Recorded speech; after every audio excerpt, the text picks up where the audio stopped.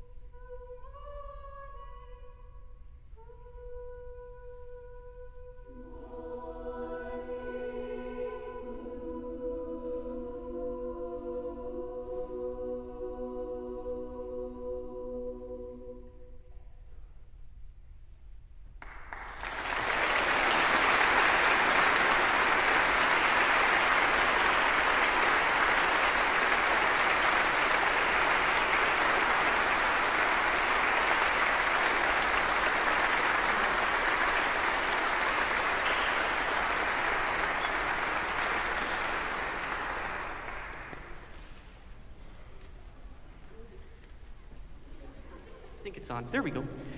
Uh, good afternoon, and thank you so much for joining us on this uh, rather rainy Sunday afternoon. My name is Dr. Andrew Kendall, and I serve as Associate Director of Choral Activities here at Gustavus, where I have the honor of conducting both of the wonderful ensembles that you've heard this afternoon. All of these students have worked extremely hard in preparation for this concert, and I am, uh, I for one, am very, very proud of their work. I also want to thank our fine arts staff, particularly Colden Wedge and Miguel Souza, uh, for their work in keeping things running around here. And also, I'd uh, just like to take one quick moment to thank the senior members of both of these choirs, many of whom have sung in choir at Gustavus uh, during all four years of, of their time here. They will be all officially recognized at our choral showcase uh, program later on in May. Uh, but I also wanted to take a, a, just a quick moment to express my personal gratitude uh, to the seniors for your leadership uh, this year. So a round of applause for you.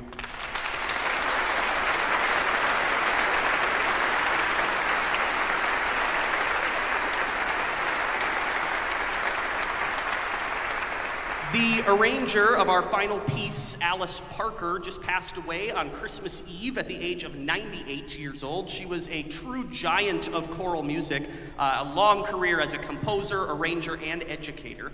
This piece, Hark I Hear the Harps Eternal, is our homage to Alice Parker. Thank you again for attending our concert today, and I hope that you have a safe journey home in the rain.